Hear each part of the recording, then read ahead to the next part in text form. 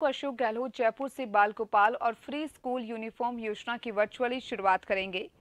और इसके तहत 70 लाख से ज़्यादा स्टूडेंट्स को फ्री दूध और स्कूल ड्रेस दी जाएगी। इस दौरान प्रदेश के 33 जिलों में ब्लॉक और ग्राम पंचायत स्तर पर वर्चुअल कार्यक्रम का आयोजन किया जाएगा। इसमें स्थानीय जनप्रतिनिधि के साथ ही जिला प्रशासन और शिक्षा विभाग के अधिकारी मौजूद रहेंगे।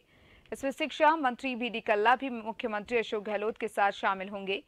शिक्षा विभाग द्वारा प्रदेश के चौसठ हज़ार चार सौ उन्यासी सरकारी स्कूलों के कक्षा एक से आठ तक पढ़ने वाले सड़सठ लाख से ज़्यादा बच्चों को फ्री स्कूल यूनिफॉर्म फैब्रिक के दो सेट उपलब्ध करवाए जाएँगे और इसके साथ ही यूनिफॉर्म सिलवाने के लिए प्रत्येक स्टूडेंट के खाते में दो सौ रुपए का भुगतान किया जाएगा।